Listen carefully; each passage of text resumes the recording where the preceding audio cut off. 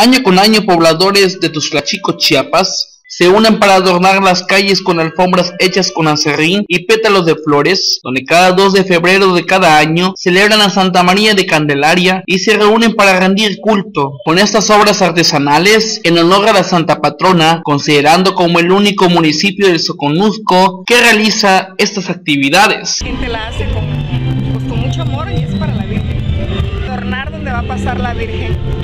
Candelaria.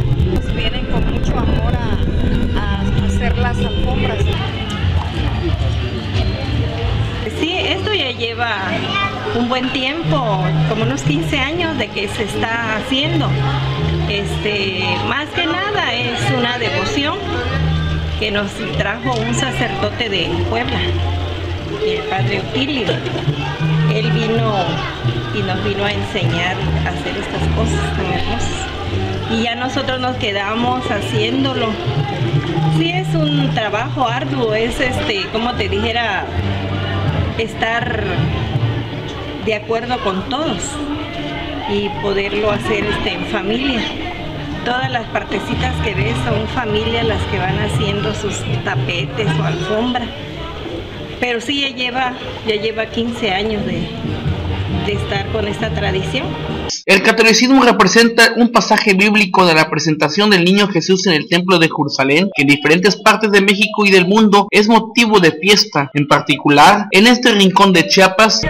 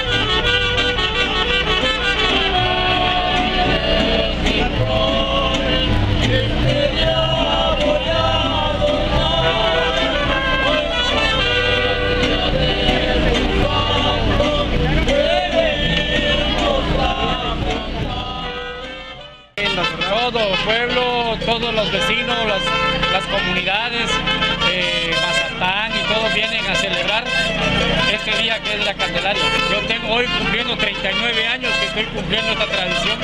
Yo soy del estado de Yucatán. Tengo 39 años de estar acá en Tuxtlachico que me recorrió con mucho amor. Hay devoción, hay cariño por el pueblo, por las tradiciones.